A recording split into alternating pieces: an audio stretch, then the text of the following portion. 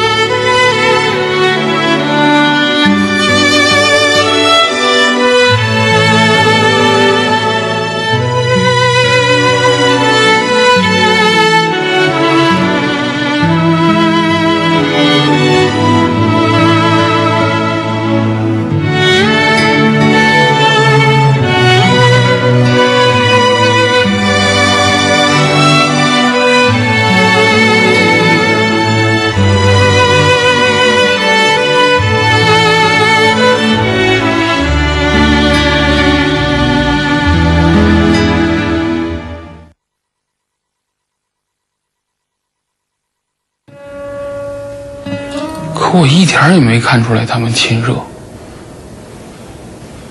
什么叫亲热呀？从前你不是老说，他们打了一好，就好的跟一个人似的，死去活来的。我叔跟我姨怎么没死去活来呀？跳舞两个人都没在一块好好抱抱。刚才我叔一走，我姨就一个人傻坐在床上。我真怕姨得病，我早就看出来了，姨神经不如从前了。我还以为今儿他们能好好睡一觉呢。你不是也说，两口子打架一睡觉就好了吗？结果，叔说一定回来，现在还没回来。你叔他们可不是小波两口子，人家俩没有第三者。再说，那么大岁数了，可不是睡一觉就能好的事儿。能不离就算谢天谢地了。德宝，你不能追求太高了，又跟着急了啊！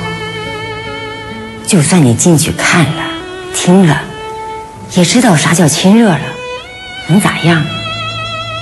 回去跟他们说，人家是过来的人，用你说。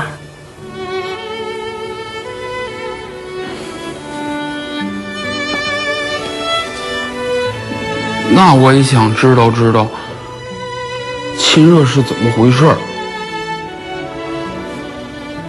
都说我该找女朋友，该结婚了，我就是怕，不想找也不想结。可亲热，我还是想明白明白。看看，刚还说自己都懂呢。德宝，你这是到岁数了，人到了岁数就要结婚生子。赶明儿，姐给你从老家介绍一个，保准比这城里人踏实。你就得找一个踏实点的，闹腾的太费神，你经不起。看小博这阵子瘦的，不找不找，我姨和我叔都不让我瘦，说我胖乎乎的有福气。这个给你吧，我下楼去接我叔了。我要跟我叔说，必须跟我姨亲热。我不管他们什么岁数，不能让姨再傻坐着。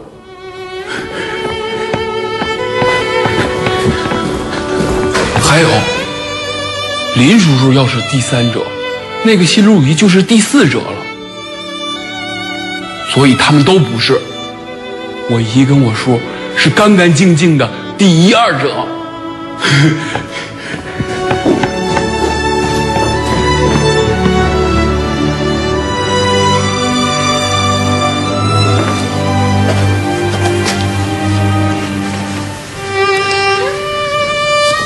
东南，睡吧。明天我在家，肯定擦的比你还仔细呢。赶快上床盖上，凉。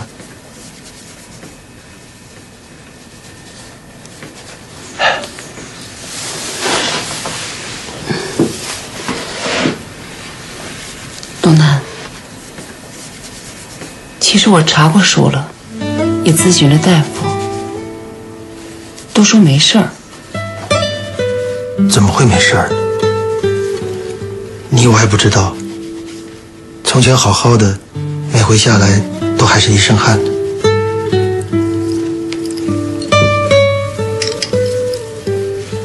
我可以控制不出汗。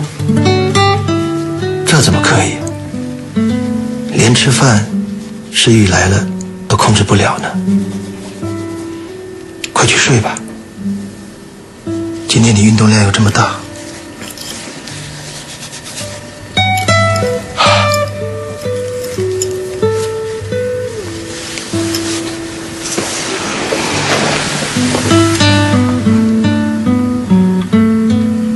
是时间。等你好了，或者有了明显的缓解，去吧，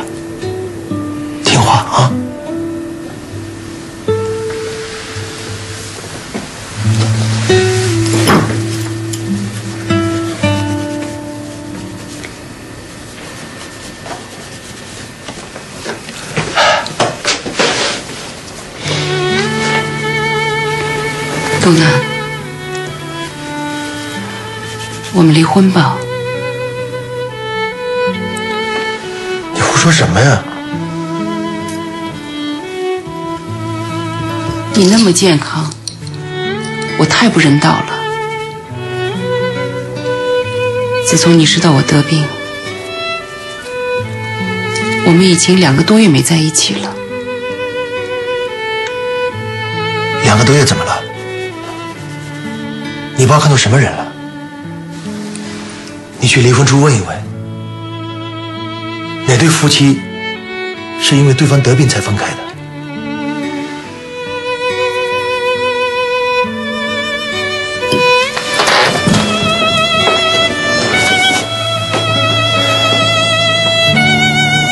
随平，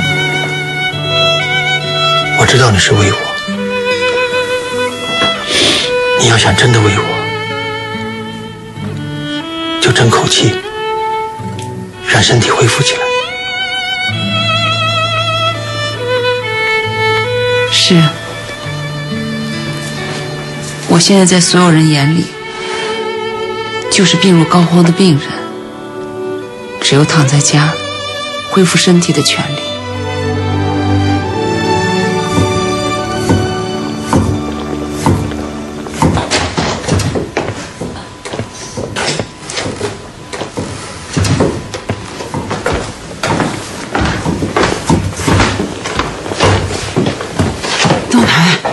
进来，去到市场上给妈买两包棉花。该买又买，改天吧。我还没说完呢，再捎回来啊果子和烧饼，看看还有啥好吃的没有。这两天四平他爸呀，那胃口小了，咱给他换换胃口啊。那您给他换点别的，自己做的干净。哎妈，您就别跟着添乱了。我知道你不想让我去晨练，不行，跟人说好了，不去更麻烦。有啥不行的？你光惦记着怕别人麻烦，你咋不想想你妈心里麻不麻烦？你这是自找麻烦。妈，我跟您说啊，您可是没病。要是您跟四平一样，成天无事生非的，我真要离家出走了。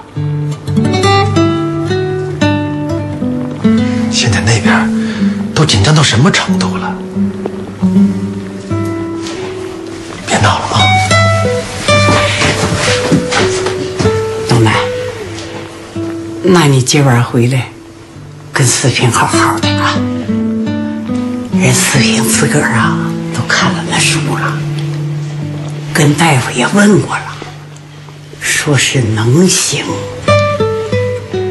他那么内向的人，都让你逼的把这话都说出来了，你还死命着，干啥呀？啊，你这不是成心让他心难受吗？你这是欺负人呐，知道吗？妈，你不能不顾去偷听啊！你怎么老不改呀、要不咱俩换换？您过那屋睡得了，累不累呀、你说的是人话吗？我过去住，四平好那阵儿，你怎么不说换换？东南，你可别把你妈惹急了啊！今晚回来，跟四平好好的，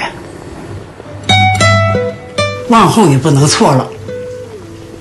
错了，你看我怎么收拾你！滚吧！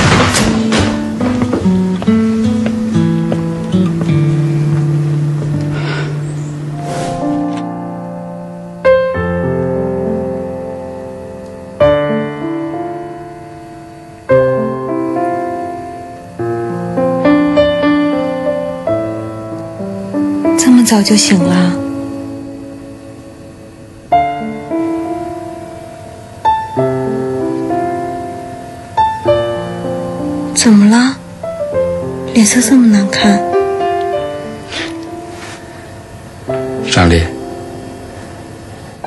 快一年了，我今天才知道，这一年你是怎么睡在我身边的，真的很乖，一动不动，那么温柔。幸亏我昨天把你拦住了，不然我一辈子都不知道什么是柔情。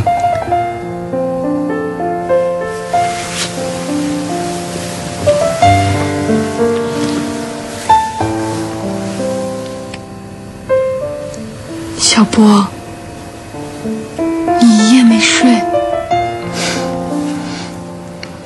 不想睡，就想这么看着你。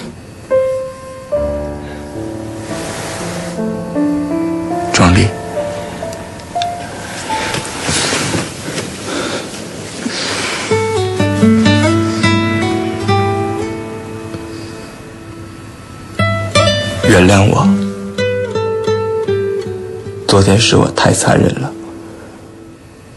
你这么纯净。从来没有谈过恋爱，就义无反顾地嫁给了我。就算你耍个性子，发个脾气，我还是不该签那个字。我真的挺不是东西的。你嫁给我肯定后悔过，连我都替你惋惜。这一夜我看着你就在想。你这么好的女孩，怎么会跟我这么个没出息的男人？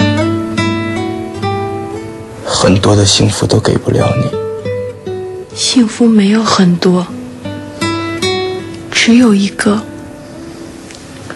你爱我。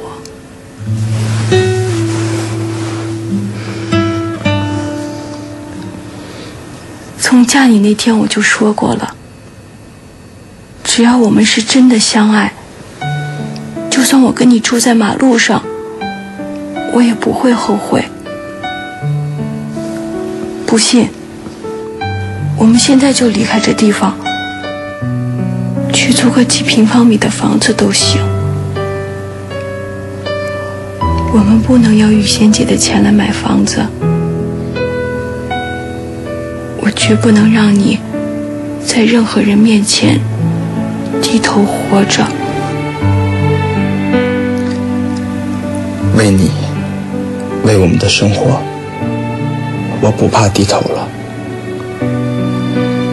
只要我们在一起是快乐的，就足够了。不要，那样你会变的。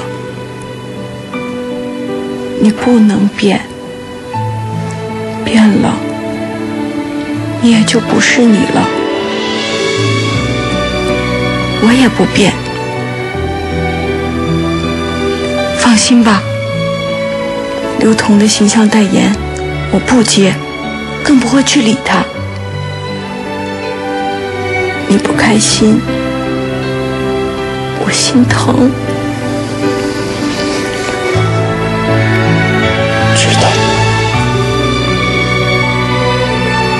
我们都开开心心的。钟丽，再等半年，半年以后，我一定让你住上属于我们自己的房子，哪怕是只能放一张床的房子。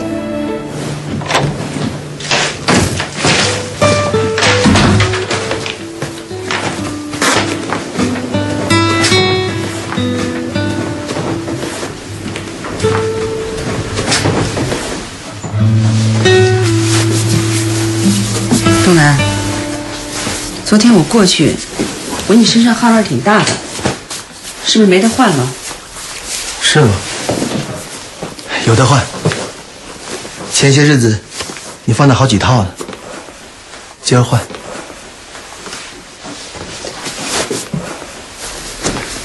那也把这套带上，这是你最喜欢穿的。这还是那次我拿了金牌，咱们去街上买的呢。对，你刚发的奖金，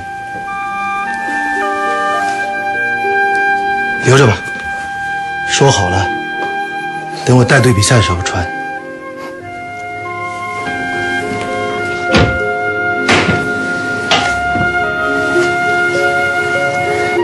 你知道的，我穿衣服费。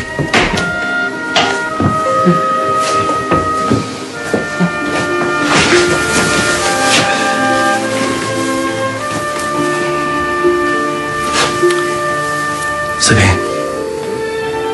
不要胡思乱想。其实生活跟咱们的运动场上是一样的。你曾经也是个优秀的运动员，我喜欢看你在运动场上拼搏的感觉。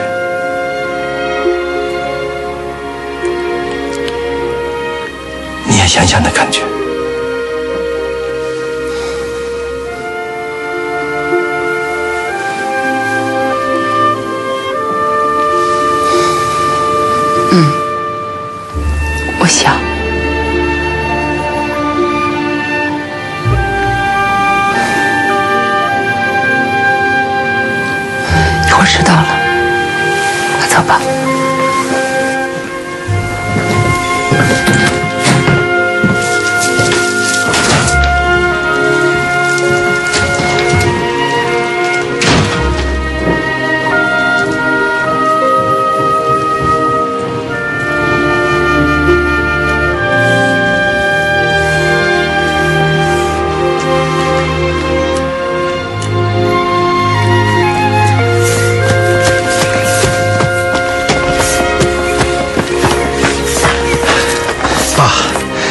起来了。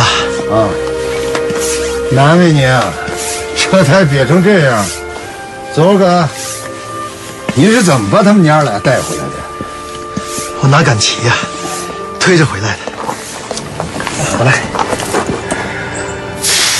多少给你爸个表现的机会。我这岁数啊，也干不了啥了。爸，您干的可都是技术活。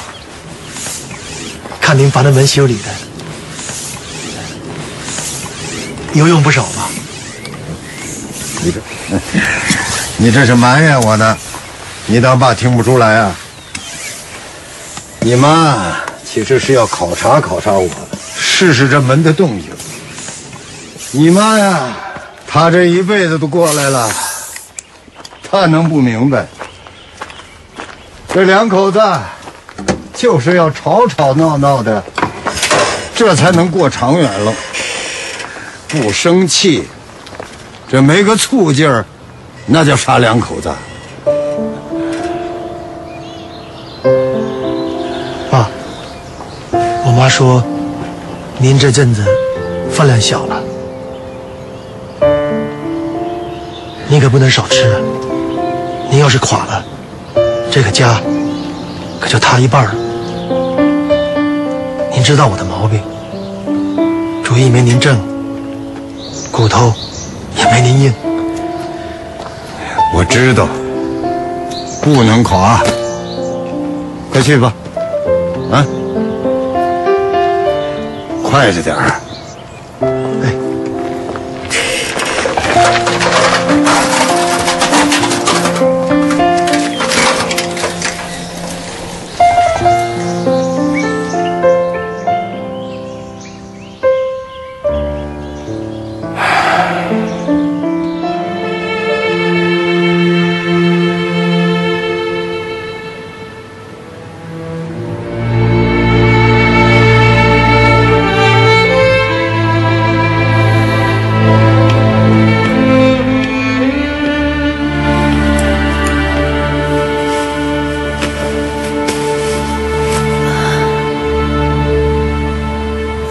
怎么没去上班？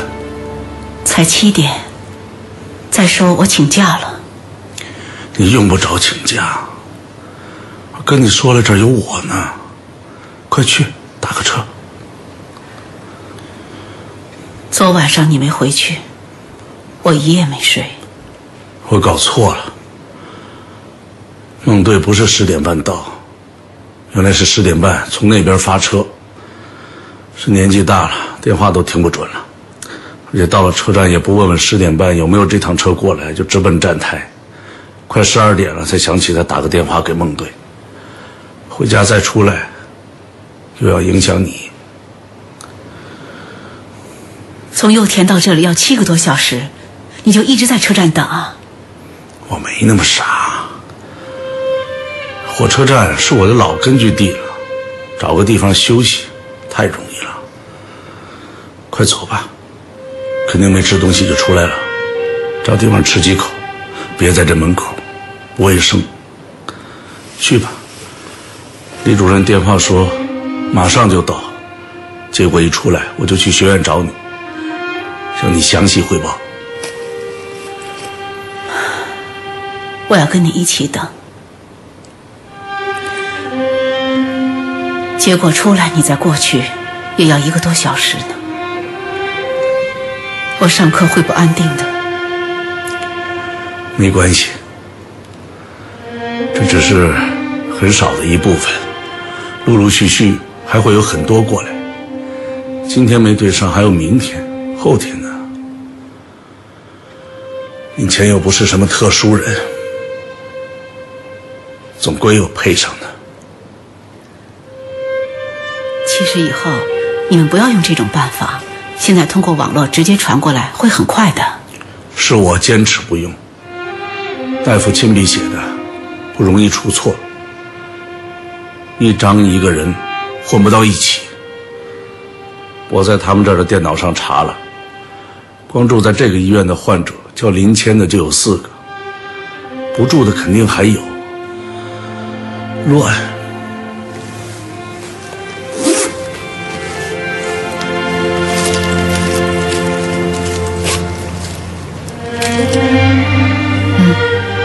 家里所有的积蓄，本来就应该属于你，你拿去，自己处理吧。好，我处理。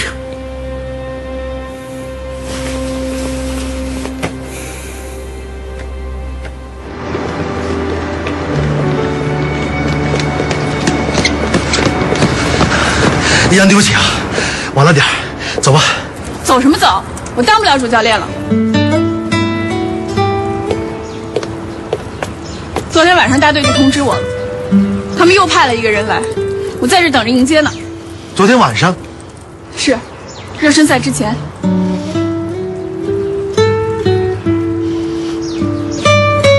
不当就不当，谁稀罕呢？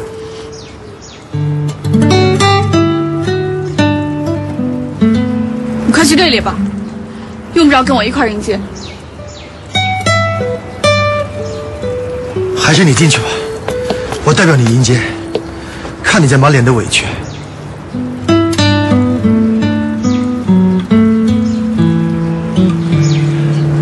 来的是男的，是女的？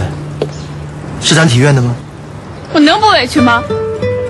我这么努力都不行，为什么我只配给别人当副手？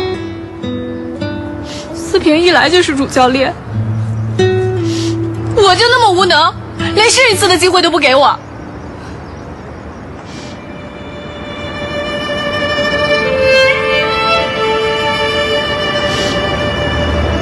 我怎么了？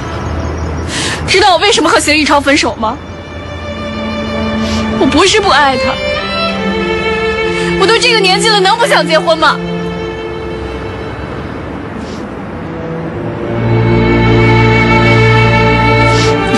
别在这烦我了。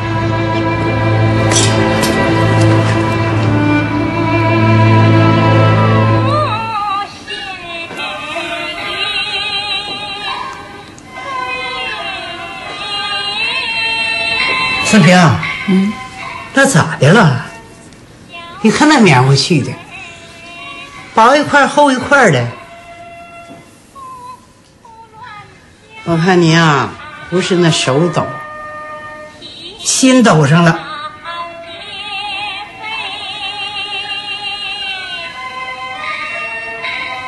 就为刚才易安闺女那电话。是妈。您说不会有什么事儿吧？依安从来都不关手机。昨天晚上，其实我是看出他有点不对劲儿了。哼，可是不对劲儿了。妈把那闺女批评几句，不请她再给你打电话了。你看这阵子把你的心闹的呢。妈，不是人家要打的。是我，是我让他每天给我说说，说说东南，探探那闺女对东南啥看法，能不能越看越看好了东南呢？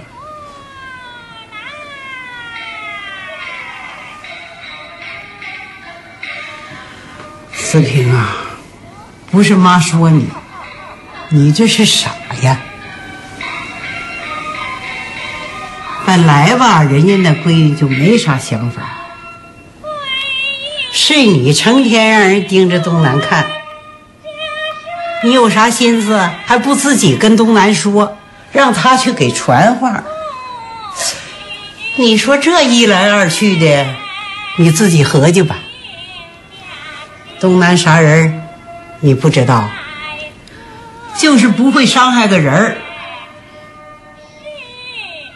你忘了前几年有个女队员给他写了一封友情的书，这家把他吓的，去训练去都不敢指导人家了，生怕哪句话说重了，伤害了人家。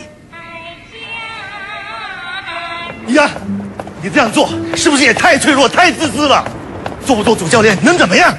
我们的目的是要训练好我们的队员，带他们出去把金牌拿回来。我脆弱，他们为什么要欺骗我？明明还是彭燕过来，还让我在这儿等他。那个邢宇超不是在故意整我吗？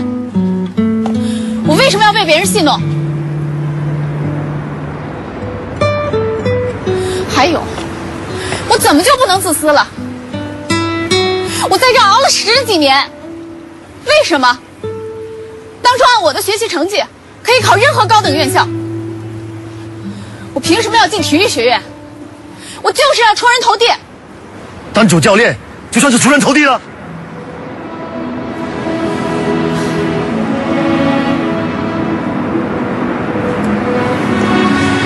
依然，你现在必须跟我回去。你冷静想想，如果你这样走了，有多少人会失望？特别是你的队员，你真的忍心？让他们带着对你的遗憾去参加比赛吗？一个自私、急功近利的人，就算你考上了多么了不起的高等院校，获得了再伟大的成就，但终究都会孤身一人的。一个人活着，没有理解，没有朋友和爱人，活着还会有价值吗？东南，今天只有你这样说我，我才会听下去，不然我可能会从这儿跳下去，因为没有人知道我心里的痛苦。我爸爸是怎么去世的？我妈妈又是怎么改嫁的？我是怎么走过来的？你们现在知道的我爸，根本不是我亲爸。尽管他对我和我妈都很亲，但一个人从生下来就没有了亲生父亲，你知道那种感受吗？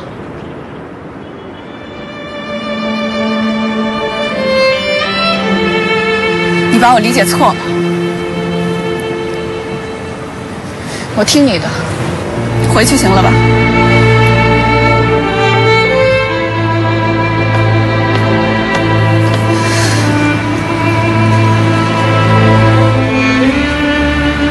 今后不要再说我尽功尽力了，我最恨这种人了。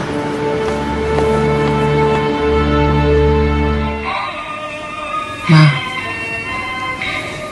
东南是不是跟您说什么了？你当全家就你一个人精明？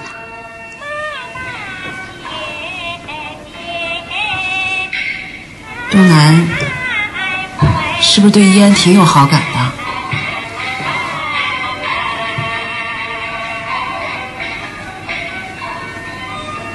昨天我跟孔正过去，上楼就听见他们俩吵架，就他们俩。那也是你提起的。孔振给我学了，为啥？四平，咱能不能整点出息？别让你爸和妈都跟着你着急，咱让东南也着着急。咱大大方方的，咱乐意搭理他就搭理搭理他，不乐意他爱咋咋地，不能让他觉着自己了不起。他没觉得自己了不起，是你觉着他了不起。是，妈，我心里真的怕，从前就怕，现在就更怕了。昨出去，就是听易安说，晚上东南要去看他们的热身赛。啊，你就是怕那闺女抢了风头，所以你才变着法儿的让东南知道你比他行。嗯，东南后来是觉得我挺行的，那东南啥时候觉着你不行了？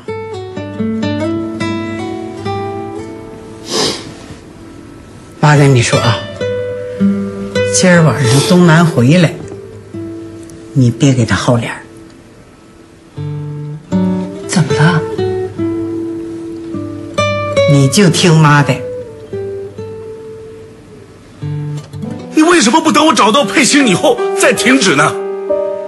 你们是不是觉得他得了白血病很可怕，没资格做医生了？他现在不工作，你让他做什么？是不是林倩的病情发展了？血压、心脏是不是也受到了影响？这是必然的。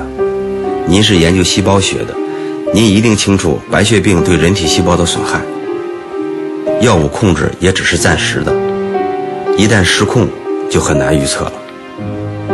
林大夫又是这个年纪了，虽然他希望自己有惊人的生命力等待配型，但他是医生，他很清楚自己的情况。上个星期又给他做了一次检查，他好像根本就没想看化验报告，只是微笑着跟我说：“力不从心，该休息了。”可是我看见他离开我办公室的背影，还是感觉到了他的无奈和遗憾。但是我还是给院里打了个报告。我把报告给他看的时候，他也很平静。低声跟我说：“我总算可以告别手术台了。”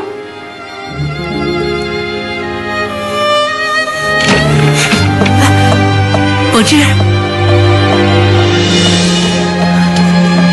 柏芝，丁宇，我晚上不回来，你必须睡觉，现在就回去休息。那你呢？刚才那么多单子，连百分之五十的匹配率都没有达到。李主任又说他血型很特殊，亡羊补牢恐怕来不及了。我要回趟老家，我们老家离林谦的老家很近。林谦说过，他父亲在那儿教过私塾，很可能跟我是一个老家。还有，他们那儿跟我们那儿年轻的很多。也许林谦老家找不到匹配的对象，我们那里可以找到。柏芝，你不在的时候，我可不可以去陪陪林谦？他现在这样的情况，医院也不再让他手术了。你刚才说了，他没事儿做了，他做什么呀？我真的很牵挂他。从前我有什么问题，他都是在我身边。现在他真的孤身一人了。虽然我不能给他太多，可是说说话，陪他出去走走总可以吧？他是我们的亲人，这么多年的感情，你我都不会忍心。婷宇，不管我在还是不在，你都应该去。只是你要想好了，你的再次出现，对他会意味着什么？他昨天的话，你应该明白。我只希望你不要再给他带来痛苦。一个人从失望到希望，再从希望到失望，这种折磨他经不起了。他对你的感情，你心里明白。你是他三十几年的梦。现在，除非你再给他希望，永远都不要再让他失望了。无论你是出于什么情感，只要他看到的是希望，你就去。还是那句话，爱是有感觉的。想想，嗯。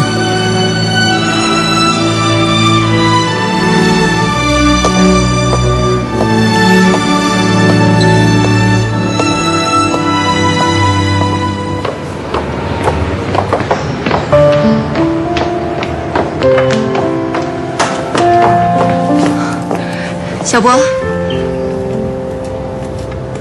才来，刚起床吧？早上我就跟我们经理打过电话了，刘彤的创意我不做了，所以你不用再来找我了。我知道，不过你也没有必要再上去了。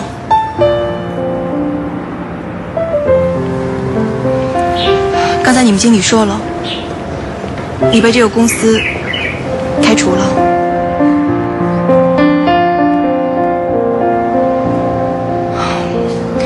本来我想上你的工作间帮你收拾一下东西，看看有没有什么要拿的，结果翻来翻去，只有这个。